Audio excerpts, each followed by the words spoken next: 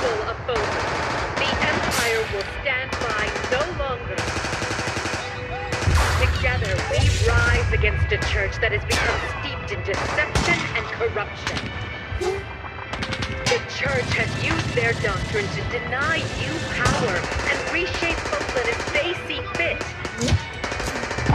They thrust upon you the illusion of nobility in order to oppress who they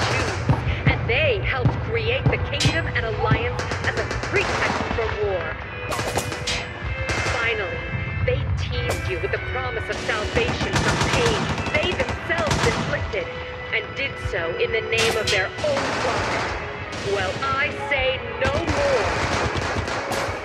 The Empire has severed herself from their prophecy by restoring the Southern Church and nurturing her people's well-being. And today, we purge the world of their evil forever. We will retake Garreg Mach from the Central Church and stamp out any nobles who abet its depravity.